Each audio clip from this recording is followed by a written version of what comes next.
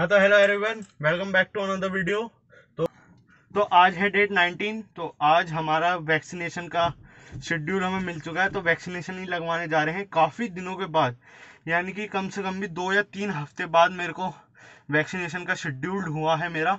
तो आज हम वहाँ पे वैक्सीनेशन लगवाने जा रहे हैं और मैं सोच रहा था कि एक ब्लॉग बनाया जाए वैक्सीनेशन के ऊपर, बताया जाए आपको कि कैसे कैसे क्या क्या होता है। वैसे तो काफ़ी वैक्सीनेशन के ब्लॉग बन चुके हैं, पर मैंने सोचा कि क्यों ना मैं भी अपने चैनल पर एक वीडियो बनाऊँ और मेरे कज़न ब्रदर कज़न सिस्टर्स हैं, वो भी, उन्हें भी पिक करने जाना है, वो आ रहे हैं हॉलीडे में रहने। तो एक छोटा सा ब्लॉग इसके बारे में और मैं बताता हूँ आपको कि कहाँ पे मैं वैक्सीनेशन लगवा रहा हूँ, कौन सी मैं वैक्सीनेशन लगवा रहा हूँ? तो चलिए चलते हैं।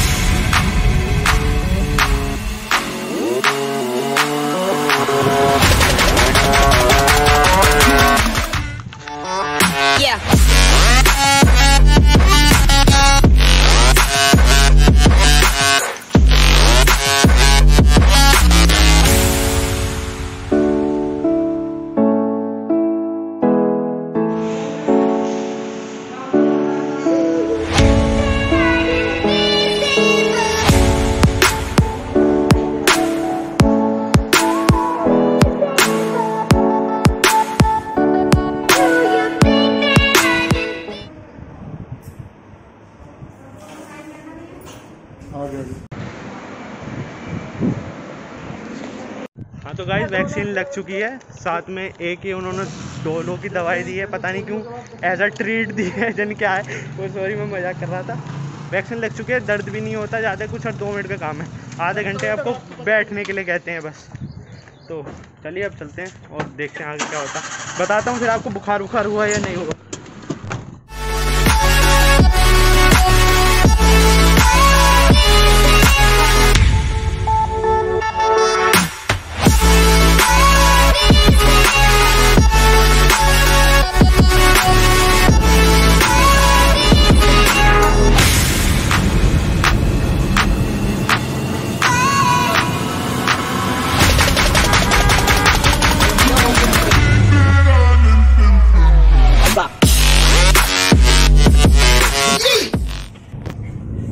क्या हाल है?